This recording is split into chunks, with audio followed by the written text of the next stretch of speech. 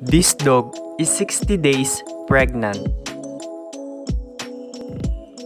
7 weeks of your dog's pregnancy or 2 weeks before the dog gives birth, we can probably able to see and to feel the puppies moving inside the dog's belly. How to feel puppies inside the dog's belly.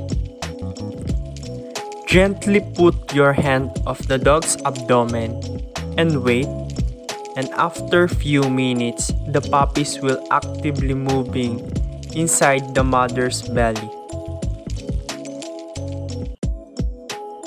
Be careful for putting your hands at the dog's belly because we can hurt them and cause some physical problems.